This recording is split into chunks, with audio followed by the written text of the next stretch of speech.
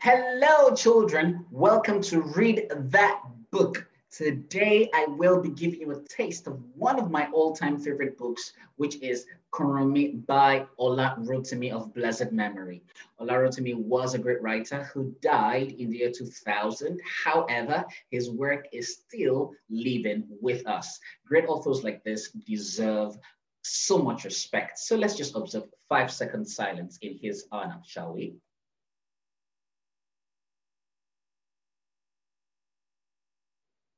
May his soul rest in peace. All right, great. Okay, now since Kurunmi is a play, I will not just be reading it, I will be acting it, which explains why I'm dressed the way I am. Sounds exciting, doesn't it? Yay, great. Okay, now when we're done with this video, I need you to ensure you get the book and read it. It's available in many bookshops around the nation. However, you could just drop a comment in the comment box if you need directions and then I'll ensure to get back to you. Right, but before we proceed into the book, let's cover some basics. First of all, if you take a look at the cover of the book, if you take a look at the cover of the book, you will notice that it is a three crown book. Now, hold on, I'm not referring to this product, Three Crowns Milk by Friesland Campina. How, no, no, no, no, no. However, Three Crown is an imprint, or pardon me, was an imprint of the Oxford University Press. That's the publishing company that made the book. Okay, um, am I being too technical with you right now. So let me break it down for you. Think of imprint as classroom, as a classroom in a big school. Exactly. So you would expect that the kind of books that a year two child should read would be different from what you'd expect a year seven child to read. So that's pretty much it. Imprints are just like classrooms of different categories in a large publishing company. And that's exactly where Three Crown Book belongs or rather belonged in the Oxford University Press. Okay, so now that you have that, I'm very sure you got that. Did you get that? Good. If you got that, awesome, fantastic, bravo, proud of you, splendid. Okay, so now let me tell you something that I realize about this book. Whenever I think about the book Kurunmi, I think of a quote by Theodore Roosevelt which says, the more you know about the past, the better prepared you are for the future. So this book does expose something vital about our past, okay? Especially as a nation of people rich in culture and tradition. One of such tradition is that of the constitution of the old Oyo Empire, requiring that the crown prince commits suicide upon the death of his father, Bialafi. Now, doesn't that sound unfair? Why exactly should the son be required to die upon the death of his father? Strange things, doesn't it? Okay, so let's move on. However, in 1858, the then Alaafin Atiba sought to make his son king, contrary to the constitution. Some leaders welcomed this idea, saying that the tradition needs to change since times change, but Kurunmi a major leader and warlord of the empire, opposed this decision, thus starting a war. Are you ready? Okay, so let's begin. Scene one. The play opens on Kurunmi's Agbole, the closest English term for which is compound. Even this term falls miserably short in portraying the sacred pictorial essence of what an agbole really is. In this particular agbole, for instance, the gods of the tribe are present in varying images of earth, granite,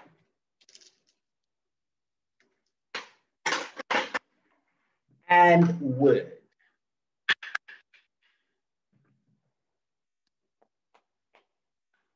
Here also exists, or are believed to exist, the spirits of departed ancestors, ethereal, invisible, eternal guardians of the bodies of the living, bodies that have warmth and blood and sweat. Agbole. Enter Abogunrin, rattling a small gourd as he approaches the shrine of Ogun, the god of iron, in the center of the compound. He stands before the shrine, pouring libation in it from a keg of palm wine in his other hand. Termites dwell on the ground.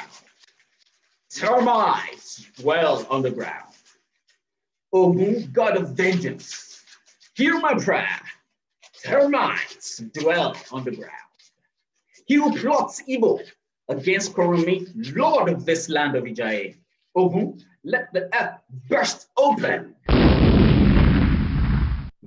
Burst open and swallow up his body like a termite. May he dwell forever on the ground. Dundun, drumming hails Abogunrin's presence. He dances briefly. Then raises a hand. Drumming stops. He lifts the keg to his lips. Sucks the remaining palm wine to the last drop. Mm. Breathes out in contentment. and stares defensively at someone in the audience. He addresses this spectator directly. Why do you stare at me that way? Did you see me drink yesterday? Will I be drunk tomorrow? Hands up. Is today not the day set aside by our leader, Kurunmi, to feast all the children of Jai? Why then must I, Abogunrin, not eat and drink today the feast of Ororon Anta?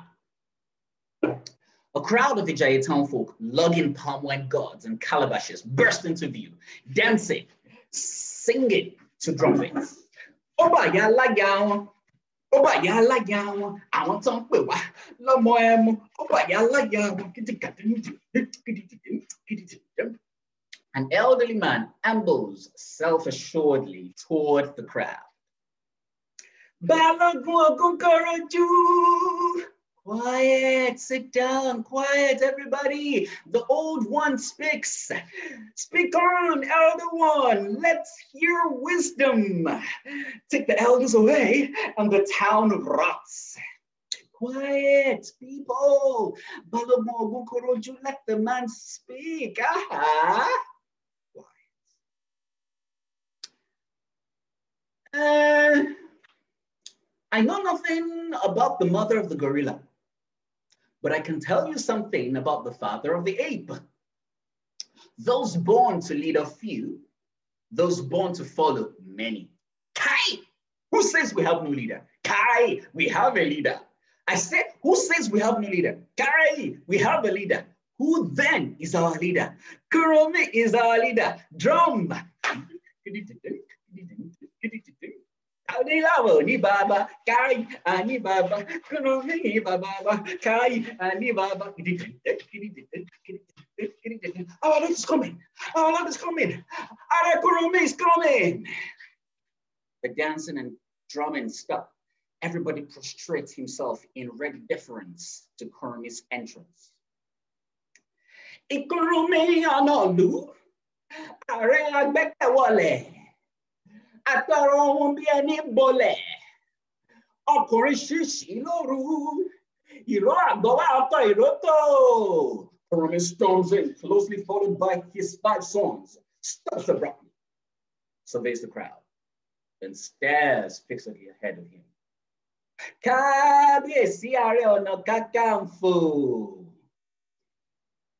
The crowd rises to kneeling position. Kurunmi is still staring on the standing on the same spot, staring ahead absently. The crowd glares back at him, puzzled. At last, Kurunmi speaks. The Gabon viper.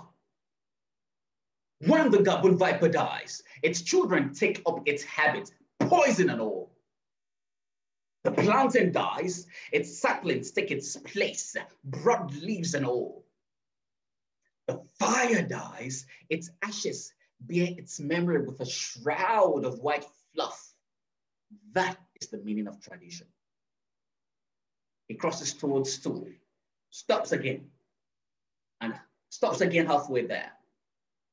My people, we too have tradition. This is what makes us men. This is what makes us people, distinct from mud. Why? The pride of bees is in the honeycomb. The pride of the weaverbird shows in the skillful design of its nest. And where stands the pride of the monkey? Is it not in his knowledge of the secrets on the treetops? The pride of man, my people, is in his tradition. Something to learn from for the peace of his present, something to learn from for the advance of his tomorrow. The day the tall Iroko tree loses its roots is the day the baby ant shits on its head. The day a people lose their tradition is the day their death begins. Weeds they become, climbers, seaweeds floating, they know not where to. Do.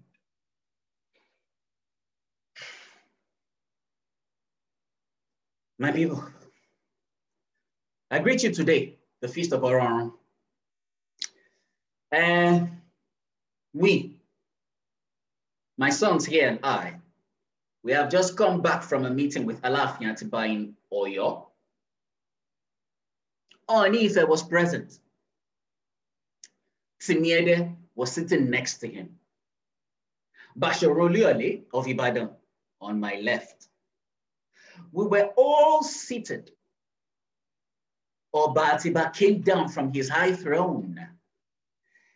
In his right hand, the sword of Ogun. In his left hand, the bolt of Shango.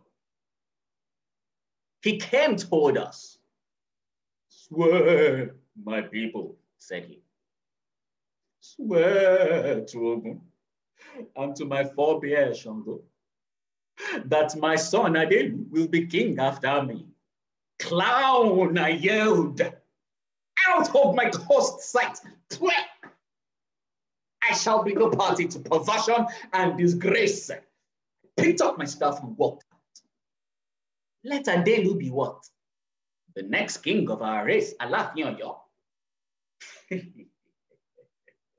when the tortoise is heading for a senseless journey, and you say to him, Brother Tortoise, Brother Tortoise, when will you be wise and come back home?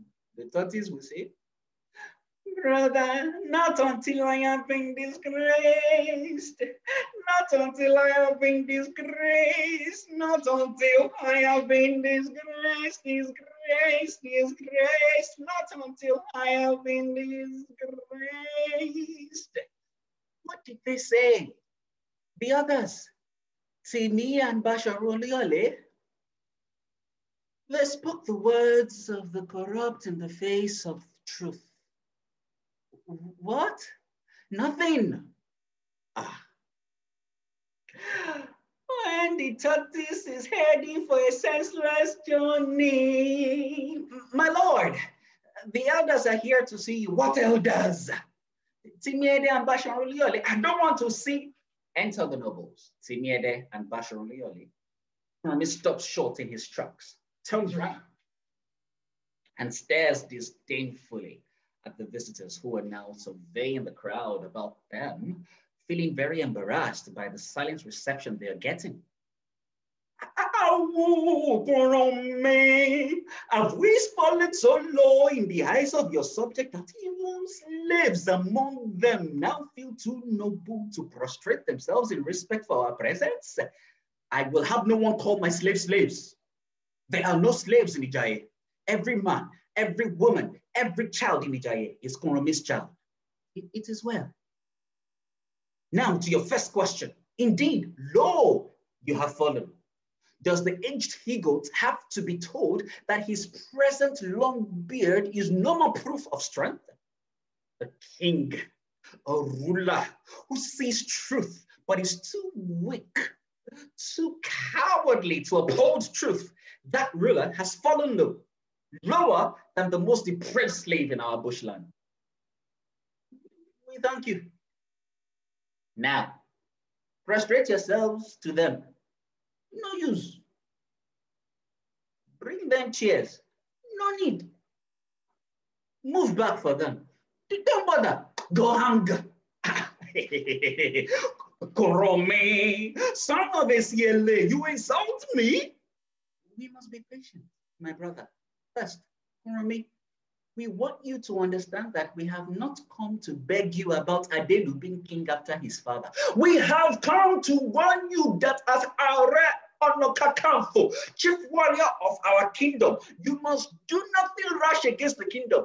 Yours is the sacred duty to protect and fight for our people and not to confound and rip them apart, rip the kingdom apart. Tell that to yourselves. Go tell Onife and then go plead with Allah Tiba. You are the only important chief in the kingdom who opposes the Alafin's wish. We have a tradition. Whenever an Alafin dies, his first son, that Alafin's first son must also die with him. Is that not part of our tradition?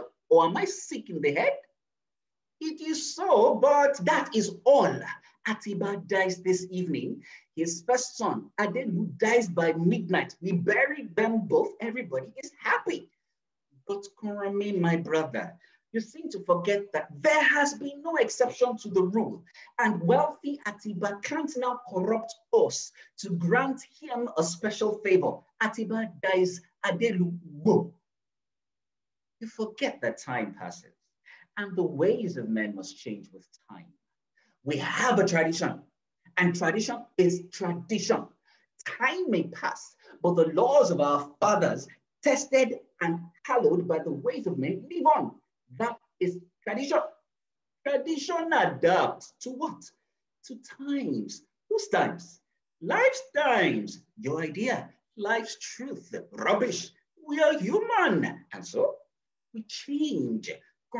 Welcome. Tradition must change with man. Go give your shoes to your slaves. Why? Times change. Very well then.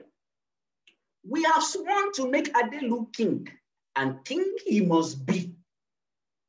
Not over my people. Ijaye is part of Atiba's kingdom. You are chief of Ijaye today because Atiba, Alafin Atiba, the supreme head of the kingdom, made you so. I thank Atiba.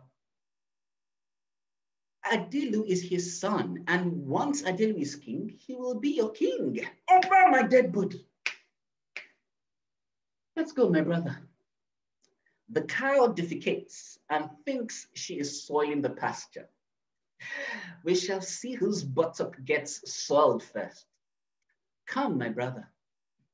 They leave. Go! Tell the world Rome will never prostrate himself to shoot a deer with the father one morning and then squat with the son in the evening to, to shoot a goose. Never. Never. I say never. Father, what happened? Man the gate. Draw, draw, draw the sword. Keep close. Father, what is the matter? My sons, Adelu will be king. What? Ah, what? What was that? Some joke must be. Why? Why a joke? Dare you take me lightly? I say Adelu will be king. Father has agreed to that. They say Adelu wants to be king. But, but father, so let Adelu be king. The gods forbid a cow. A cow is about to be shipped to white man's land. And she's happy, very happy. Uh, let the cow go. When she gets to white man's land, what will she become? Horned beef.